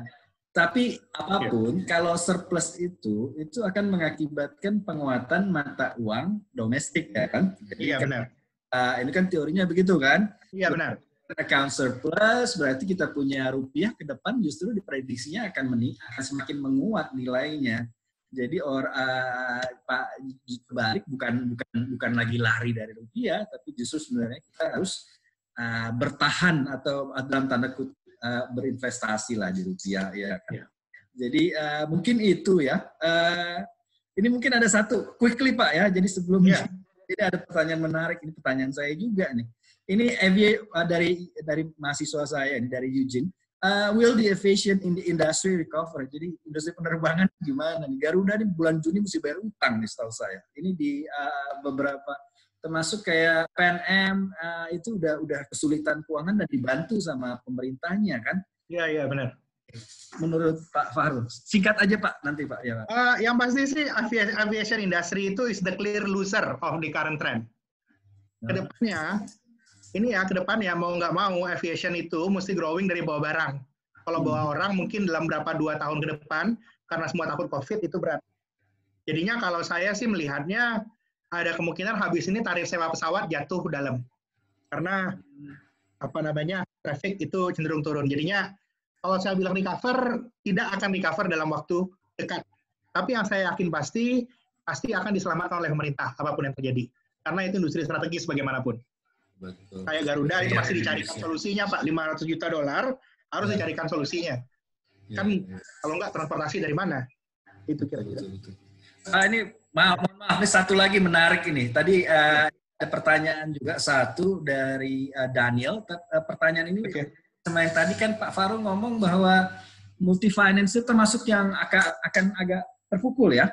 Nah ini yeah pertanyaannya kalau apakah yang namanya peer to peer lending itu bisa dikategorikan multi finance Pak? Apakah akan terkena juga atau gimana? Kalau peer to peer lending itu mohon saya ambil contoh kayak misalnya kayak Amarta lah kayak juga apa ya yang lagi ngetop sekarang tuh macam tuh yang kayak berbasis digital gitu apakah akan hard hit dengan uh, kondisi ekonomi sekarang atau bagaimana mereka? Uh, kalau peer to peer-nya itu banyak memberikan uh, lending kepada service related sector, Pak hmm. service related sektor yang hilang ketika ketika COVID ini. Dia hmm. minjemin itu ke, ke bisnis restoran, ke supplier makanan yang ke restoran, terus apa namanya uh, beli ke apa namanya ngasih pinjaman itu ke apa ke invoicing untuk yang service related, misalnya invoicing untuk acara entertainment dan lain-lain. Saya hmm. rasa itu cenderung berat. Tapi kalau peer to peer lendingnya untuk yang basic necessities, kebutuhan hmm. sehari-hari, saya hmm. rasa itu mungkin masih bisa jalan.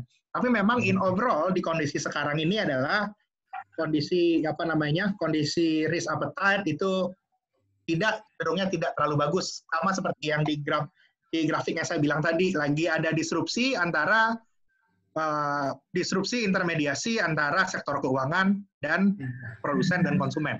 Itu yang kira-kira. Saya sih lihatnya mungkin untuk peer to peer di kondisi sekarang agak hati-hati pak. Kecuali benar-benar yakin sama yang yang dipinjemin itu. Kita benar-benar itu. Dan industrinya mesti favorable. Industri favorable tadi saya bilang kalau industri yang apa yang langsung saya ngomong ambil contoh lah kayak misalnya uh, tani hub yang langsung misalnya peer to peer ke sektor pertanian, sektor sektor spesifik lah. Atau uh, saya ambil contoh kayak fokus ke sektor pendidikan. Nah, ini gimana ini Pak? Jadi uh, uh, apa masih bisa di uh, di consider atau gimana? Kalau untuk pertanian atau pendidikan bisa, Pak. Oke. Okay. Pertanian pendidikan bisa. Karena kalau pendidikan itu juga data GDP pendidikan kita masih naik kencang. Masih 5% something. Oke. Okay. Okay. Health, education itu masih tinggi spendingnya. Spending yang tidak bisa di stop. Orang tua kan nggak bisa stop pendidikan anaknya. Itu yang bisa kejadian. Pokoknya kita tambahnya itu spending-spending yang nggak bisa di stop. Kalau spending yang nggak bisa di stop, kita oke, okay, kita ngasih peer-to-peer lending ke situ.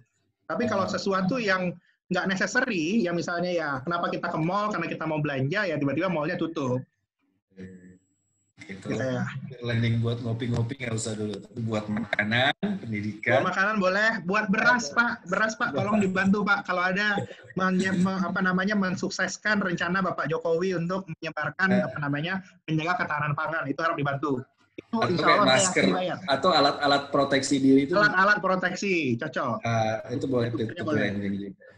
Oke Pak, uh, baik waktu kita sudah habis, uh, agak kelebihan sebenarnya, jadi terima kasih. Okay again Pak Fahrul. Jadi I hope we you share ya with us ya Pak ya nanti uh, your uh, presentation ya because it's very uh, comprehensive and very interesting as well Pak. We can learn, learn a lot from your presentation Pak Fahrul. Thank you very much. Now, uh, okay, thank you Pak. I will share. Yeah. Yeah. Okay. We're gonna have like a takeaway notes from this seminar from our uh, head of programs. Ibu Yansun, our head of finance program, Ibu Yansun will have like takeaway notes And then uh, we'll be closing by the uh, host, by the moderator, by the co-moderator, Ibu Valentina Tohan, will share the screens about e-certificate for Symbolize as well for those who actually uh, attended this uh, seminar.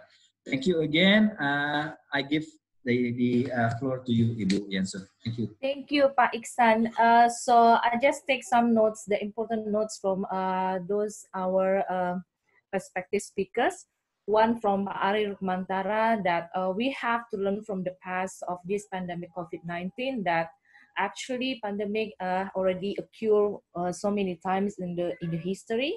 Uh, once in the pandemic influenza started in East, East Java and spread across to Netherlands in 1918, of course, and then the bird flu and another pandemic, uh, MERS pandemic and Ebola as well. And then from that, uh, we should, as uh, Arie already said before about carpe diem. All the pandemics rely on how quickly we optimize the opportunity. It means we have to apply protocol better, do it quickly. Uh, and then I'm not really quite confident to uh, spell these sages that uh, Pak Arie said before that every pandemic is different. What we to do, uh, what we do right now is different to uh, something we do uh, in the uh, in the previous or in the history. And then the the the third one, meter Sisyphus, uh, what the essence of doing same thing over and over again. People should read and learn from the history. And then what uh, we already done in the present now about the pandemic COVID-19 is the four T's that he said about the tracking or tracing. It is necessary to expand our IT infrastructure to make it uh, faster in doing the tracing and then also the test, the PCR test and next take time, but there is a rapid expansion of testing then second March. And then to treat the number of people recovering is increasing and even more than fatality number right now. And then the three movement to apply physical distancing and limit spread of the virus to decrease the infection rate. And then, of course, this is not the step that the government should do, but everyone should do these 40s as well by themselves as well. And in the future, mostly online and digital industry will dominate the economy. And invest in long-term future programs. For example, hand washing is not popular in the past, but now is becoming popular. Invest in more on health facilities, stamina and nutrition, exercising, insurance scheme, not only personal insurance, but also expanding building infrastructure plans, and inspire more technology to ensure our health system such as producing our own PPE, ventilators, and to support her response to, the, to this pandemic. That's all the takeaway notes from Pak Arie Rukmantara. And then this, uh, our second respective speaker is Pak Fakhrul Fulvian, the one that I can uh, note because uh, he provides a very wonderful uh, PPT. Uh, the first one, sectors which is related with improving efficiency and high technology will be benefit from current environment. And if this efficiency trend continue, source of profit less likely to come from higher sales growth and lower cost will be the main driver. Interest likely to stay low as long as we are not moving back to inflationary environment. And in overall, in deflationary environment, bond market tend to outperform stock market as I uh, saw from the PPT that the USD and IDR is government bond.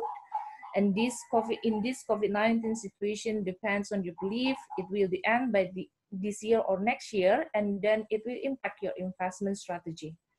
And that's all from uh, the takeaway notes that I can take from uh, our two respective uh, speakers, uh, Pak Arie Rukmantara and Pak Fakhrul Fulvian.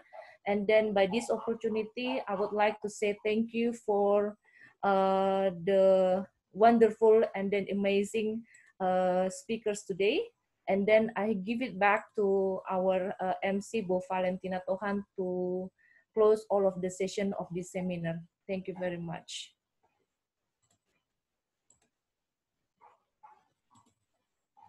Okay, Ibu Yansun, thank you for the takeaway notes. So uh, just one minute, I would like to share our appreciation today. So just give me one second. Can you see my screen, everyone? Uh, Not yet? Not yet, Bu. not yet. Right, just give me one second.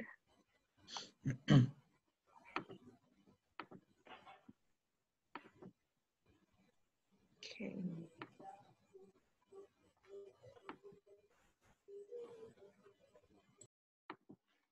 Still doesn't work. Just give me one second.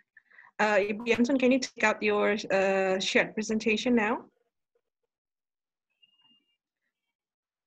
Okay, so uh, Ibu Kathy, can you uh, make me as a co-host? Because you're not a co-hosted, you, you're not uh, able to ini to be. Uh, Yeah. Uh, So I think could someone please make me a co-host for now because I think I was taken out from this session. I can't do. I mean, like this. Uh, take, uh, only the. I think Pak Iksan can do it, Pak. no, I can't go. I, I You tried. can, Yeah, because I can't. yeah. It has to be the host, not co-host. Yeah. I Uh, think only Buketi can do it because we are all co-hosts. Yeah, I think somehow my screen was taken out as a host previously. So Yeah. I'll contact you. could you please help me?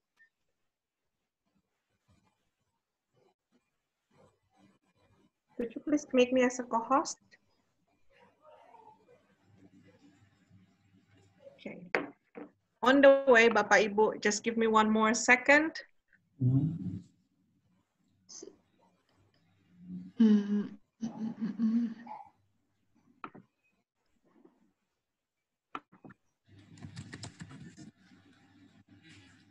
Sudah, Val.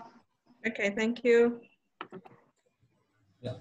So, Bapak Ibu, I will not take that long. Uh, so, thanks once again. So, this slides, uh, last slide is basically just an overview of our team. So, I would like once again to thank everyone in this team. Pak Gatot Supriyanto, Ibu Yansun, Pak Iksan Mojo as the moderator for the day, Ibu Yanti Hutagaul, Ibu Amelia Limijaya, and myself, Valentina Tohang. And as a token of our appreciation, this is just a symbol that we would like to express our sincere gratitude to our exceptional speakers of the day. So we thank Bapak Arie Rukmantara from the Gugus Tugas COVID-19 Indonesia National COVID-19 Response Task Force Chief of the Field Officer of UNICEF, as well as our uh, expert from the investment industry, which is Bapak Fakhrul Fulvian, the Chief Economist of Trimegah Securities. It is our great pleasure as well that Pak Fakhrul and team has also accepted one of our finance students to be uh, one of the research analysts and hopefully soon to be the junior economist with Trimegah Securities. So hopefully to the others uh, audiences, participants of the day, you have such an enjoyable seminar. And if I have received so many messages asking for the slide presentation, as well as the uh, video recording of the day. So here, down here is the link that you can access. So by clicking onto this link later on, you can see the record of this seminar, as well as the slide that we will uh, gain from the presenters. I think that's pretty much uh, our closing for the day. So once again, thanks to all the participants and hope you have an enjoyable day. Stay safe and stay healthy. Thanks everyone. Thank you. Thank you. Thank you Pak Fakhrul. Thank you. Sama-sama. Pak Arie, thank you. Thank you, ya. Pak Thank you, Pak Arie. Fakhrul. Thank And thank you, everyone. Thank you, everyone. Thank you everyone.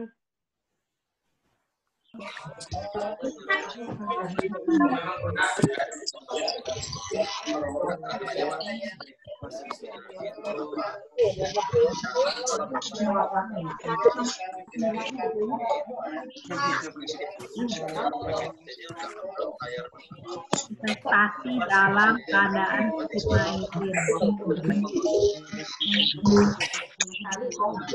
Itu yang menang sekarang apa yang